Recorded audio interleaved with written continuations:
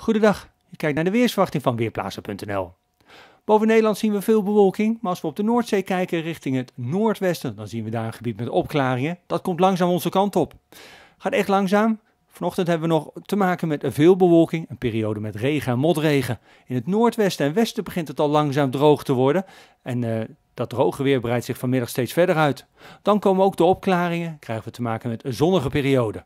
Vanmiddag 8 à 9 graden. Op dit moment is het op een enkele plek nog 10 graden. Maar de stevige zuidwestenwind, maar vanavond begint die af te nemen en dan zijn er brede opklaringen.